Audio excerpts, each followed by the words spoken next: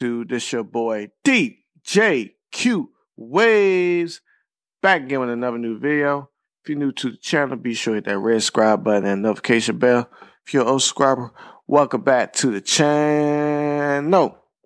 So, looks like Snoop Dogg has acquired Death Row Records from the Blackstone Control Company, MERK Music Group. According to Business Wire, Snoop Dogg will be leading the brand for the coming years as its new owner. Snoop Dogg originally joined Death Row back in 1993 when he dropped his critically acclaimed classic debut album, Doggystyle. Now, Snoop will also be releasing his upcoming album, B.O.D.R., under the label on February 11th. Back on Death Row. Man, dog. Snoop Dogg just just it's just to have acquired such a significant brand to the culture like Death Row. And you know, he said back on a podcast at the Million Dollars Worth of Game podcast, he said he's gonna get Death Row.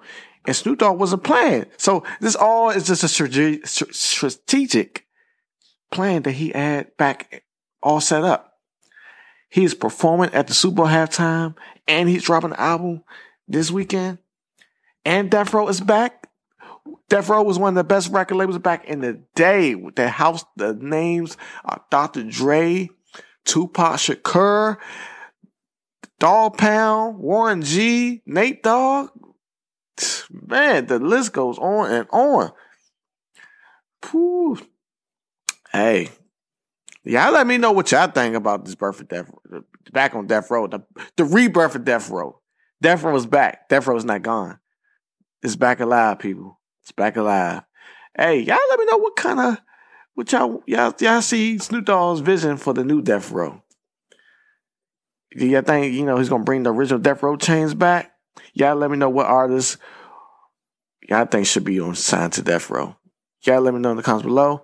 And as always, if you want more videos like this, be sure that DJ QA plays this video and make sure that like button, subscribe button, and the notification bell. Peace.